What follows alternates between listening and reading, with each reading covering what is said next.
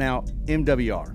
Obviously, we the the, the big uh, cons- conspiracy. What do you call that? Well, when you think about the, the Which one? situation at Richmond, Which one? the, yeah, the Richmond and, and Yeah. the, the team orders and stuff that ultimately led to your suspension. yeah. I- I'm I'm curious ultimately to know if you felt like the suspension was just and fair. But what I want to know is like you know your perspective, your vantage point leading up to it. So um, I'm actually glad you brought that up. I, I I've avoided talking about it too much, but um, there were three or four things going on at the same time that were seemed connected that were not connected. And if they were connected, it would have been a lot cleaner. And um, I would say the same thing I said to Mike Helton and those guys when I sat down on the meeting. Said, oh, they were like, "Tell me what happened at Richmond." I'm like, "Which part?"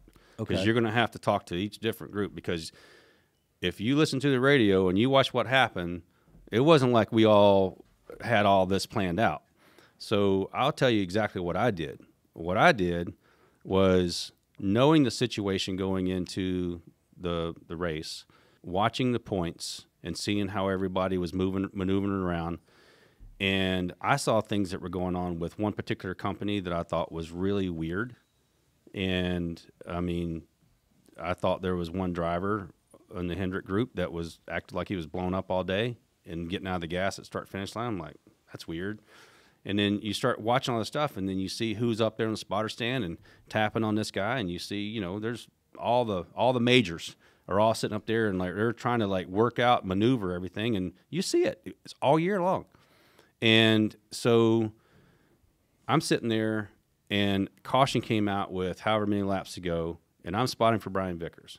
Now I've got Channel 2, NASCAR, MRN, Channel 1, and a digital radio. I'm listening to, I got all these voices in my head, and and I'm, and, and so everybody's like, oh, you're on the 15. I, I, I couldn't get to it if I wanted to. So I'm sitting there. Here's what happened caution comes out. We're sitting there. Leaders come down pit road. There's like six, seven laps to go. And I'm like, we're a lap down. And we take the wave around with Brian Vickers. So right when they're coming to, to get ready to come around the corner, we take the wave around with Brian. And I see Logano is in front of us. And then as soon as I see him coming around, I look up at the scoreboard and it says Jeff Gordon in by one point, Logano out by one point. And I'm like, well, I need Logano had two wins, and if he has his two wins drops to 11th, he makes he makes the playoffs, and Truex gets knocked out. So I'm like, it's a one point difference, and I'm like, well, how is the 22 in front of us but behind us on the rundown? Mm. And it all happened while we were waving around. Mm-hmm. And I looked at the scoreboard and I saw what was going on. I'm like, oh, he was two laps down, coming to one down. Logano mm-hmm. was, and we were two to one. I'm like, we need to get that lap back. And so I'm like, because I don't know who he's racing. I don't have time to go, oh, I wonder who he's racing this lap. I didn't have time.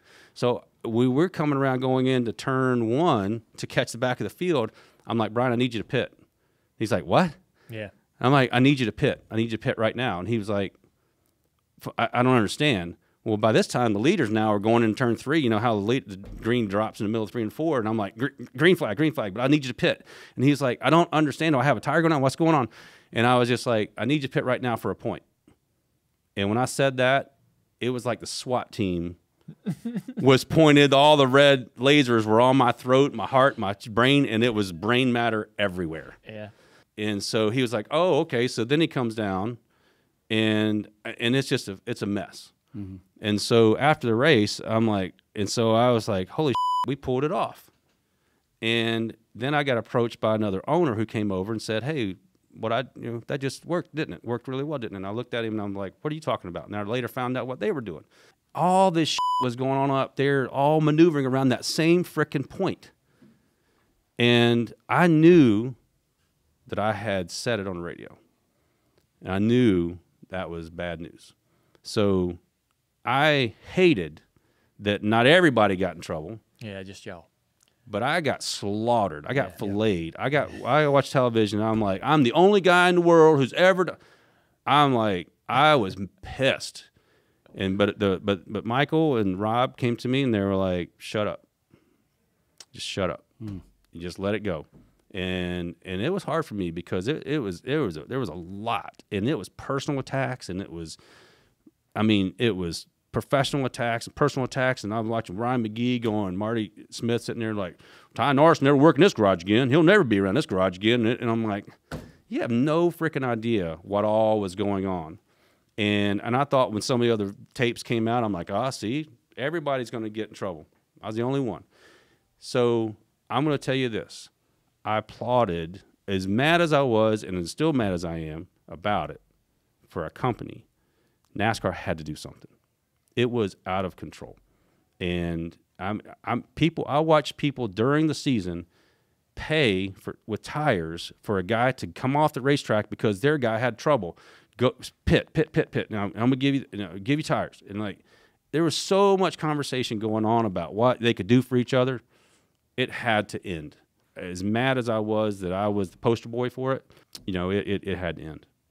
I was more mad that they gave Jeff the uh, the, the spot. spot. Like they literally made a spot. Made a spot for a guy in the playoffs. Yeah. Yeah. I was like, what in the hell are we doing? This Yeah. is like not the way to clean this up. It's like making this whole problem yeah. worse. Yeah, it definitely it, like they didn't know what to do, Yeah. right? And so what I was, I knew they were going to come down hard on me, and I knew that others weren't going to come be going to come down as hard on them because they need drivers, right? They need teams. They don't really necessarily need guys like me, and so I have never felt the cold shoulder of the entire industry like I did, and I wanted I never wanted to walk in that garage again. I never wanted to be around again. I got really bitter, and I'm like, I'll just I'll go work another sport.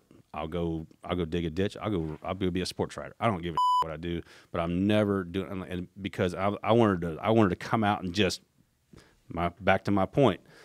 They were mean to me. I'm gonna be meaner to you. You bet you got you got me. I wait till what I come out with, and and I I finally got myself zenned out, and I just said, Have you? Because treat I- this with respect. Yeah. Treat it with respect. Um, I made a mistake. Stand up. You, you, I, I, I said it out loud. Take it and take it in the jaw and keep on moving. And there are a lot of people at NASCAR, including Mr. Fran- Jim France, who pulled me off to the side at the banquet and he said, "Son, you're gonna be okay. Just move on past it." Uh, and if I if I didn't have conversations like that, I probably would.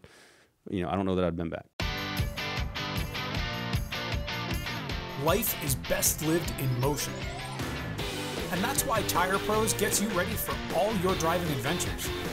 Whether it's along corners and curves, across city and state lines. Because we're more than just tires. We're auto care too. Tire Pros, so you can focus on the road ahead.